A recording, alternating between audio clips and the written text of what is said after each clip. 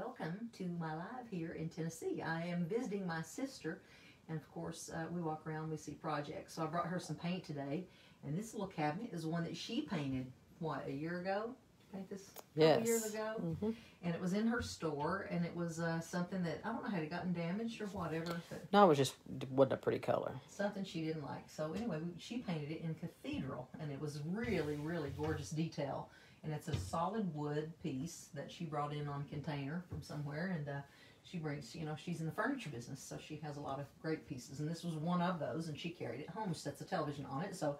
I thought uh, I've got to antique that thing. I got to bring this beautiful detail out. So I'm going to be using the whitewash antiquing gel and show you how quickly you can bring out great detail using this fantastic product. So I'm just going to go right in there. My sister Sherry is holding the camera and she's going to take your questions. So if you have some questions, we sound exactly alike. So it's her talking. When I'm talking, you might not be able to tell the difference. So um, anyway, you'll when you hear her talk, you'll know what I'm talking about. So anyway, I'm Hello, just- I'm just going to smear this on pretty much all you Robin to do. Weiss said hello. Sherry Hi, Mark, Robin. Sherry Marler said hi. Hello, Sherry. Just say. Uh, Diane Wyatt, hello Paula. Hello, Hope you had a nice drive to your family. oh, I did. I took the scenic route.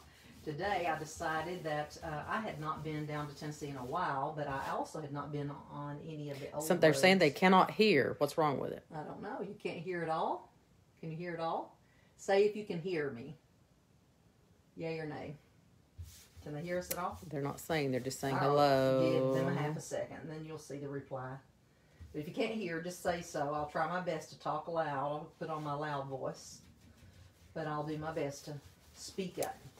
Anyway, I took the back roads. Took the back roads, and I came through Jellico. If y'all, anybody from Jellico, Tennessee, I came through there and beautiful Elk Valley, and uh, just kind of took that road versus. Okay, now they said Jennifer said she can hear fine. I can hear, so we got to hear. All right, Some everybody do, can some hear. don't. So Okay. right. So just turn the volume up on your phone, ladies, and just if you see comments and they're in your way, just take your finger and slide them off. I can't slide them off. You have to. So slide them over. I'm just putting this whitewash. Hello from Pittsburgh. I'm just putting the whitewash antiquing gel here, and uh, then we're going to take a soft cloth and just remove it. So I'm pushing it right down into all the detail, and I'm going to just probably do this whole door and maybe this whole frame. I'm not sure exactly where I'll stop. We'll just see as we go. So ask questions if you have any. We're using whitewash antiquing gel, and I'll show you one door with and one door without in just a second.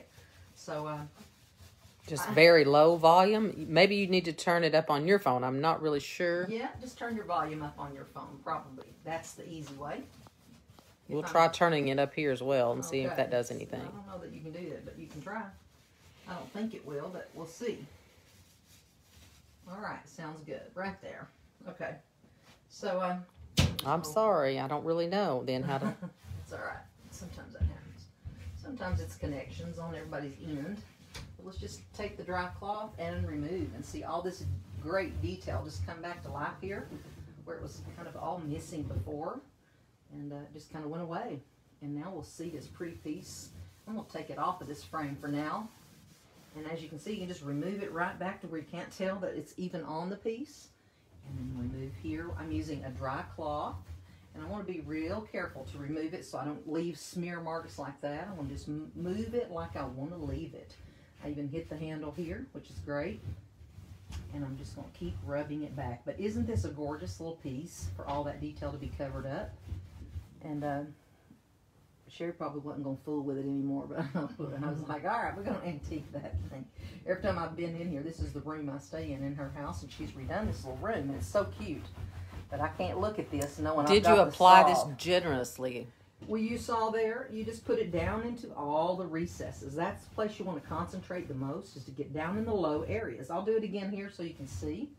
But I don't, you don't waste the product, but there's no need to kind of overdo because you remember you're going to wipe it away. But what you got to do is remember to get down in all the low areas. Because we're really Does just, whitewash work if there is no detail? Yes, it does. But you're going to have to remove it differently. You're going to like here, if we're going to leave it, I'm going to remove more in a circular motion. But it does work when there's no detail. But I'm going to just concentrate here on this. Would this work with paint also? this with paint also. This is our paint. This is Cathedral that's on here. And uh, It works with our paint. Now, will it work with other paints? Probably.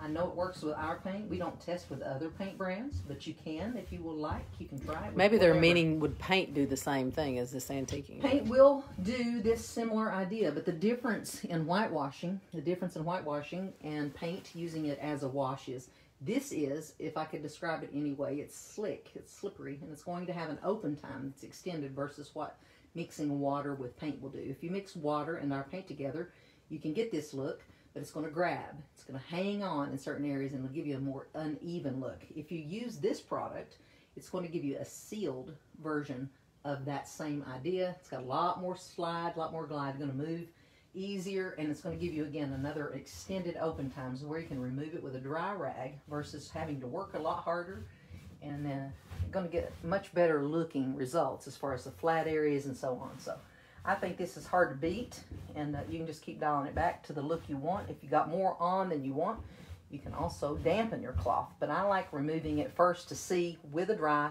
Move to the moist cloth if need be, but I'm going to leave it like that because I think it can't be any prettier. Yes, you can use it over something that's already painted. That's what we're doing Yes. here. Now, if you're using other brands of paint, like a latex paint or something like that, you're not going to get the same effect because latex has a coating already on it. Our paint has a built-in primer and a sealer, so it is a sealed paint.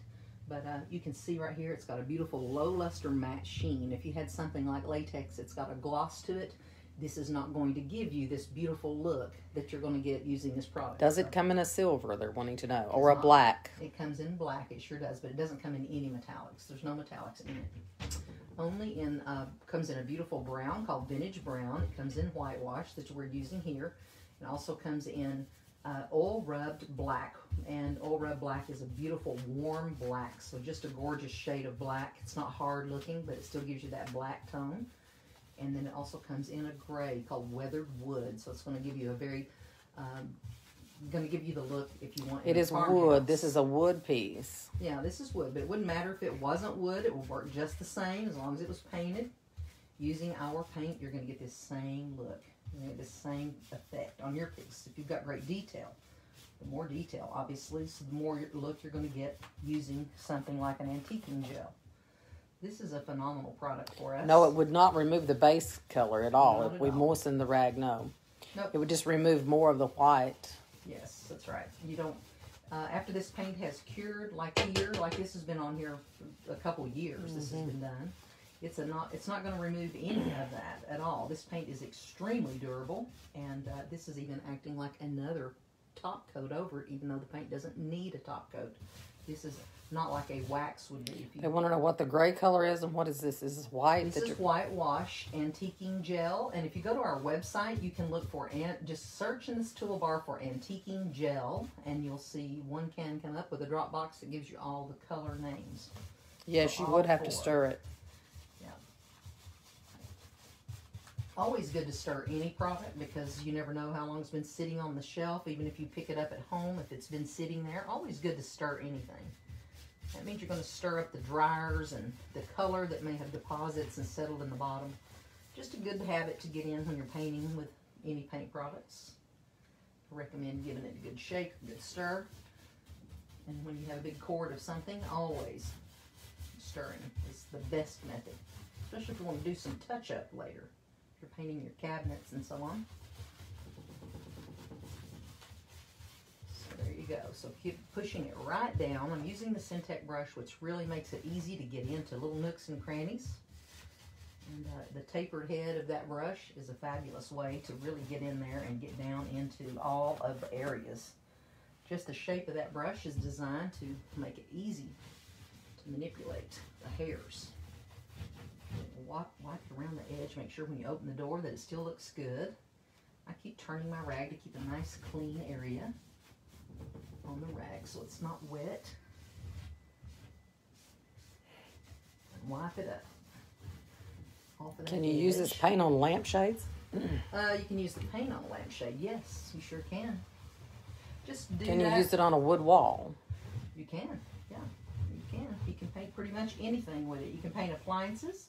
You can paint metals, glass, interior and exterior is the other beautiful thing. So you can paint your front door And if you are new to our products and you would like to get yourself a free sample, just go, we'll just comment right here, and I'm going to send you a link to get yourself a free sample. That will also take you to join our group, and you can see about 165,000 people who are using the product and posting fabulous results, doing all types of projects, something like this, as well as painting leather, vinyl, wood, metal, glass, interior, exterior projects without doing any type of a sealer or a top coat as well as just getting the product ready to go on. The only thing you need to do is clean and paint. So just clean and paint is our tagline and it's the easiest product you'll ever, ever use to give you professional, awesome results and designer things around your home and everything can look fabulous just with a quick little brush of paint as you'll see right here. I'm going to show you the difference. I did make myself a note to say take a good before photo.